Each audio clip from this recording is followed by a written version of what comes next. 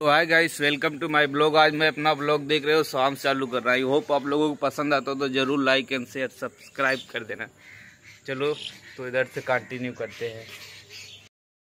सोए गाइस देखिए, अभी खेत में आ गया हूँ इधर। अब सोच रहा हूँ कि ब्लॉग अपना कल बनाऊँ। अब रात हो गई है इधर। इधर देख रहे हो पूरा।